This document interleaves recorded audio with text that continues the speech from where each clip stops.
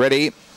set racing. Grey Gold missed the kick tonight. The favourite showing early speed was odds and ends. Phoenix Jet up on the inside. Next was Dun and Dunner. And now Grey Gold pushing through, but buffeted with a couple and then got dragged down. The leader to the back was odds and ends out by two lengths in second. Dun and Dunner up on the inside was West on Romeo. Freeway Fox well back was Wendy Nose. Phoenix Jet. Grey Gold second last. And last of all was Jetta can run, but off the back and it's odds and ends out by two. Up on the inside, West on Romeo runs on. Odds and ends wobbles wide. West on Romeo can't get there, and odds and ends wins a half length. West on Romeo, third goes the way of Dun and Dunner, then followed by Freeway Fox in behind them. Wendy knows Grey Gold missed the start. Well back Jetta can run in Phoenix Jet last in 30 and 73.